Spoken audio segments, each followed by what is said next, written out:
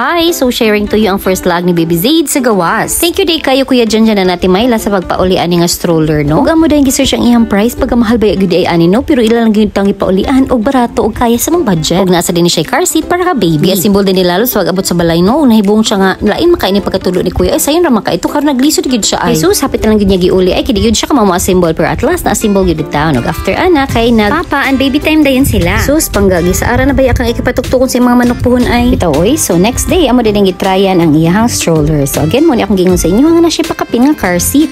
Asus asus pagka ngayang begid sa mga palangga ay sakto kay siya diha sa iyahang car seat ay. Ana masagod sila nga dapat po daw isuri ang atong newborn kay aron daw dili ang permi makitan silang mga mata ang ato arag yung ceiling. So makita po taon sila og unsay naa sa gawas. Usay marag ma-enjoy gid tayo ni baby ang amo ang pagsuri-suri ay kay gabot na mo sa mo ano na matug gid siya. Sus pangga ito paanad o pasuroy ha kay basing maabot tag Siargao ani. Baka naman lala. Uh, so unsa ginahon-ahonaan sa amahan ug ano gid tang ipatato ni ihang anak uy. Mapun ang kanig unsi asa kan ipamutang niya ang uban. Uy simba ko kagada nangita makag unsi. Uy nga pung gini maayo atong tahi. Makinom dum ko sa uban ba og naay anak bitaw nga usano. Ako din sinsinog ingon nga pun aday nag-usa. Uy kay aron dili na mas spoil ang una ni mga anak. Nya karon nga kita nay nay gitangkil-tangkil do makaingon jud daw kag uy si bako pud uroy. Bitaw uy ko ihatag why not bisan pag lima ka buok. Uy bitaw uy nahinay lang sa gyud tano kay di ba gyud taon lalima ay. Sa mo to pila ra istorya na human gyud sila love sa iyang kalaki sa iyang anak. Sus uy nagtuo man ko nga maura to ipatato niya ang tiil sa iyang anak apil man sa day hasta ang kamot hasta po day ang naw. So na may kaila atong kabanahan nga taga Midili ni kamaumot tattoo dito siya nagpatato. So usara din siya ka session ang ihang tattoo no. So sa sa video lang nakipakita iyang tattoo no para mahuman sa ganing video eh bitaw ato sa hagwa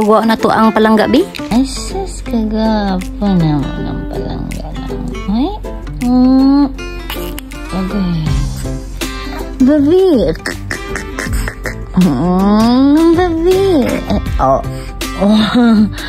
Ano round round eyes mana ay? And tada, mauna ni ang tato sus. Wani na gyud ita mga asawa basa na ni anak no. Bitaw to zombie. Ari lang sa. Thank you.